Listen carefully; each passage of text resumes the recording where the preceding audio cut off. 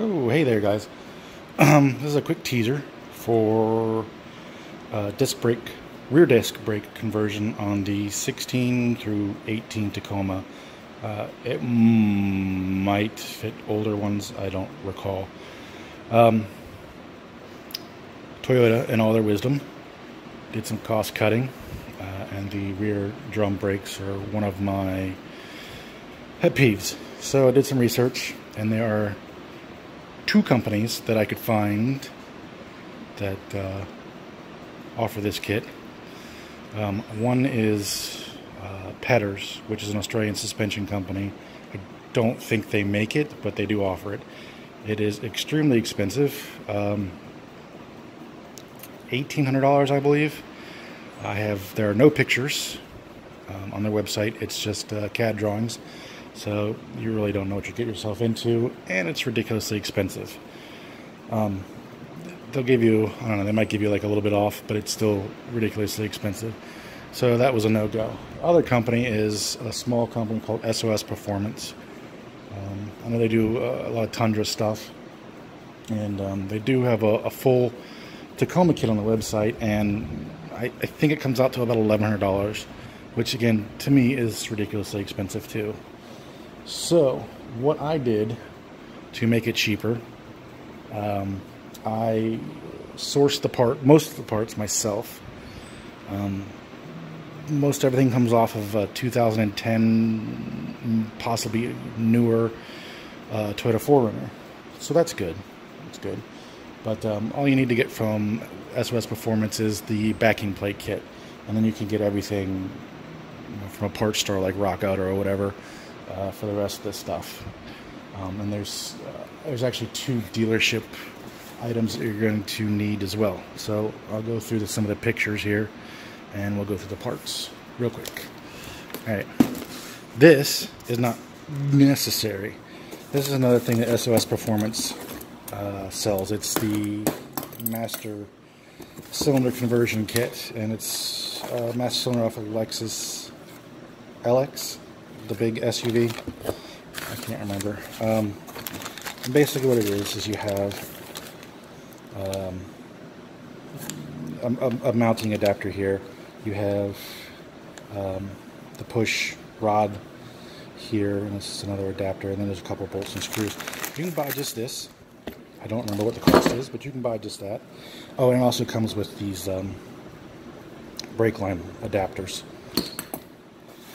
Or, and you can buy just that, just the kit. Like I said, I don't remember the cost. It's alright. My buddy has my GoPro, so, and I'm doing this on the phone, so it might be a little shaky. And this is the master cylinder off of it. And I found it was, I think the same price or maybe a hair cheaper than and actually getting parts from Rock Auto. Um, don't need it. Supposedly, it just gives a better brake feel. Uh, since part of the reason why I'm doing this is better braking performance, I went ahead and did it.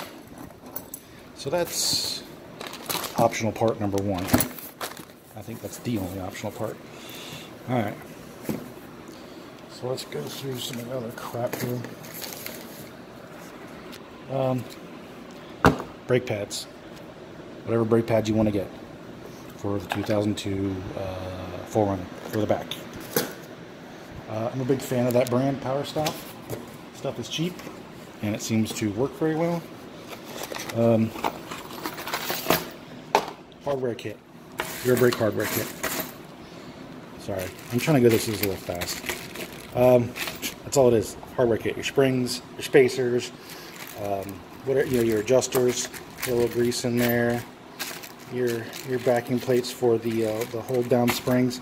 It's for a 2010 4Runner. You can see it's Raybestos brake, you know, aftermarket brake uh, aftermarket brake manufacturer. They either make OEM too. Yeah, I'm doing this with in hand, so it's going to be a little sketchy. Next thing, uh, the parking brake shoes. Parking brake functions an in-hat.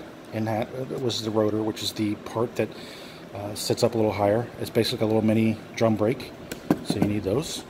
Again, Rock Auto, Centric, decent company. Uh, Alright. Sorry, I'm digging through stuff. Okay, the two parts that are from the dealership. These, and let me go up there a little bit so you can get the part number. This is one. They are side specific. That's one part. And these are like, these are the bell cranks for the, uh, the parking brake. Cable goes down in there, and then that piece goes on the back of the uh, emergency brake shoe, uh, the rearward one. That's one side. Like I said, they are side specific. I'm looking for the other one. Okay, Here is the other side. Hey, look, here's my name. All right, so that's parts. And here is the other part you need. These are called brake struts, parking brake struts. They go, there's a spring that goes on them, a little like, know, oval, rectangular kind of shaped spring, and they go uh, in between the parking brake shoes on the bottom. They're, uh, like I said, dealership, that's the part number. They are not side specific. Good to go.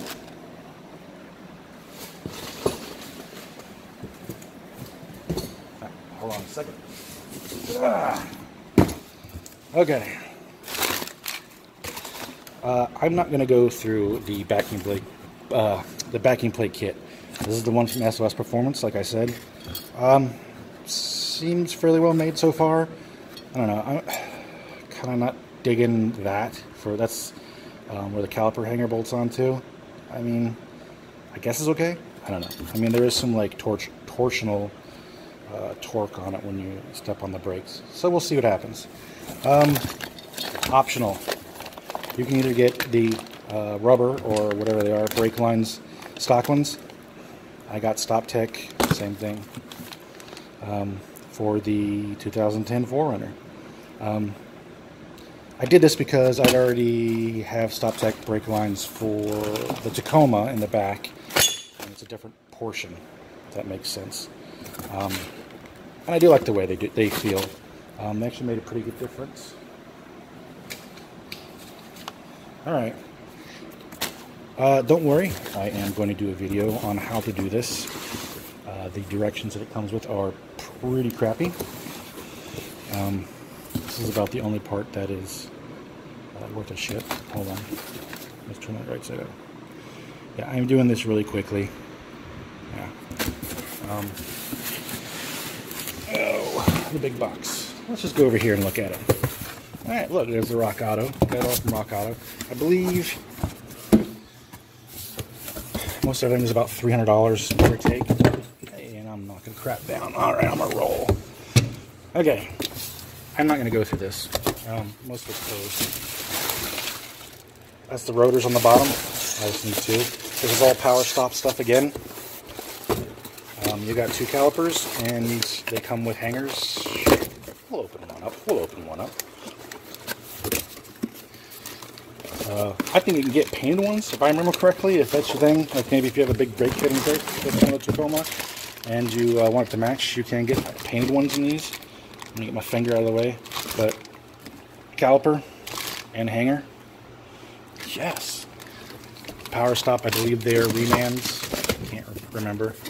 I've had this stuff for a few months. Really busy. I've not had time to do it, which is why I'm kind of doing a teaser video so that uh, kind of, uh, yeah, this is really bad. I know. I got fingers in the way and everything else. Um, all right, tools. Your good uh, basic tool set is not too bad. Um, I do recommend, so you can do this without this. You see the brake stuff there, the spring uh, tools.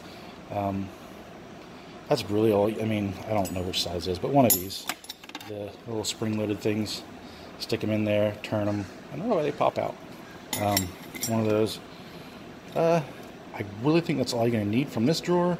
I got a caliper hanger there. May or may not need it. Who knows? But uh, I, I, got some bleeder wrenches. I don't know what I paid for those, but I end up um, never using them. um, one thing, brake line bender. This is probably overkill. You can get some cheaper ones. I don't know, but uh, you will have to break, uh, bend the hard line about 90 degrees, I believe. Um, so it will go into uh, the the holding bracket. There's like a holding bracket for the line, and uh, for the hard lead, and then on the other side goes what will be the, for me it will be the soft line of braided uh, braided steel or rubber. Um, very optional. It's a master cylinder bleeder. Um, if you don't get the master cylinder, obviously you don't need it. Uh, so, there's other ways to do that without tools. I, I hate bleeding brakes and I hate bleeding master cylinders, so there we go. All right, that's it. That's all you need, man. I, um, you know, shop around. Like I said, uh, the majority of the stuff is from the 2010 4Runner. You know, the, the, the calipers, the hangers, the rotors, the pads, and the shoes and the hardware. Uh, those two parts are the only dealership specific parts that I have found that I needed. Of course, I have not done this. Um, getting ready to do this, hopefully soon, and I will have another video then.